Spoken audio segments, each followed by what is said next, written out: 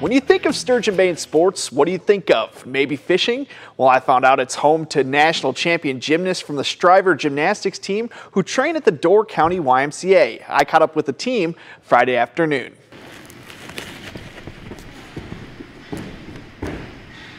We always tell them practice like you would compete. And so when they get out there, it's just a replication of what we do in this little gym. It's just in a bigger loud, obnoxious environment. The team had three national champions and 10 gymnasts overall who placed in the top 10 at the 2022 YMCA National Gymnastics Championships in Toledo that wrapped up last weekend. We keep up with the Joneses, I always say. We, we go against teams that, you know, have 80 to 100 participants. This year, because of COVID, we had 11 girls on the team and um, 10 of them medaled at nationals. So we've got some depth and we've got some really good gymnasts. The three national title winners were pretty shocked when they went up to the podium because while they compete, they really have no idea where they stand with so many competitors competing at one time. It just hit you. You're like, whoa.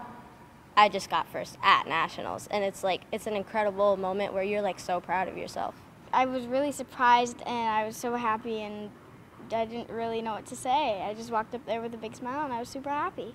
I halfway didn't really expect it because I've never really been to a nationals before, but I felt really proud of myself when I did one. With such a small team, the Striver gymnasts are a close-knit group that love seeing each other succeed. They all mean so much to me and just to see them excel and be the best that they can possibly be is just so incredible for just it just makes me so proud to be their teammates. Coach Nikki Pullman is in her 25th year coaching the Striver gymnastics team. Safe to say she's a huge part of their success.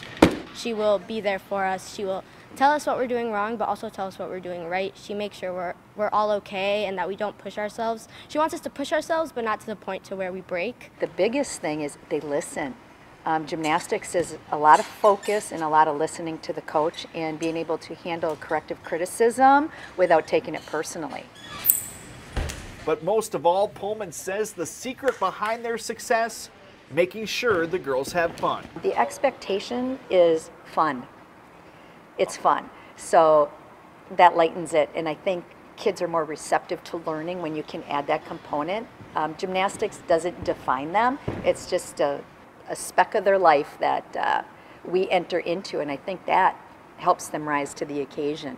As you can guess, all three of the national title winners want to be a part of gymnastics for as long as they can, including competing at the college level someday.